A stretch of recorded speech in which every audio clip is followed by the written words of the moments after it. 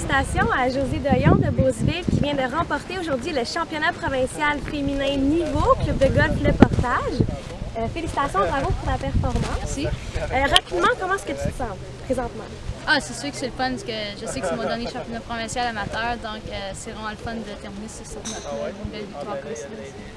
Il faudrait mentionner aussi que donc c'est la deuxième victoire consécutive que tu gagnes à ce tournoi, puisque l'année dernière, tu t'es placé au premier rang aussi. Est-ce qu'il y a une certaine pression à vouloir défendre son titre? Ah, c'est ben, c'est sûr que tu sais que tu veux défendre ton titre, mais ça m'a vraiment jamais frôlé l'esprit cette semaine. Je suis juste venue ici jouer au golf, euh, comme je sais que je suis capable de le faire, puis euh, sais, je gagnais après deux rounds, euh, donc c'est vraiment juste de poursuivre cette note-là, mais ça m'a ça m'a jamais plus frôlé l'esprit que ça. Si tu peux me nommer une là, de tes qualités principales qui euh, est, très, est nécessaire au golf, qui t'a permis d'ailleurs la victoire d'aujourd'hui, ça serait laquelle? Euh, je pense que cette semaine, moi, ça a été vraiment euh, côté chipping, puis vraiment short game autour des verres. J'ai pas frappé la balle parfaitement, mais j'ai vraiment pu sauver beaucoup de coups autour des verres, donc ça a vraiment été ma force. Si on retourne euh, donc vraiment euh, au début, à tes débuts en fait, pourquoi est-ce que tu as choisi le golf? Est-ce que c'est quelqu'un qui t'a initié, c'est toi-même?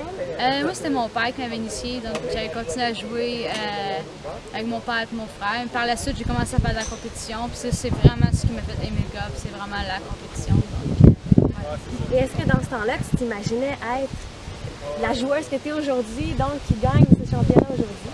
Euh, ben, pour moi, ça a toujours été un, un but de, de devenir le meilleur que je peux au golf. Euh, mais c'est fun de voir tout ce que j'ai accompli depuis, euh, depuis l'âge de 12 ans. Et vraiment très encouragée de voir ce qu'est-ce qu'il y a à suivre aussi.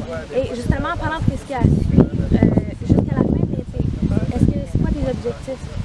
Ben, en termes d'objectifs, mon, mon objectif premier, c'est vraiment le Q-School pour la LPG à la, à la fin de, de la roue. Mais avant cela, j'ai vraiment. euh, j'ai environ quatre tournois avant ça. Vraiment encore beaucoup de choses sur, la route à, venir, mais euh, c'est vraiment mon objectif premier, c'est de réussir le premier stage. Alors, suite à l'été, là, tu as terminé l'université aux États-Unis, Kent State. Alors, euh, vers quoi tu penses te diriger au Ben, moi, mon but premier, c'est vraiment de jouer sur la LPG ou, ou, ou du moins euh, sur le 6 mètres tour. Donc, euh, c'est vraiment mon plan A, c'est vraiment de- d'être une golfeuse professionnelle. Pas vraiment d'autres plans pour l'instant, c'est vraiment ça, puis je fonce vers ça. Ben, écoute, avec ta performance d'aujourd'hui, ça s'enligne super bien, puis je te souhaite la meilleure des chances. C'est super bonne.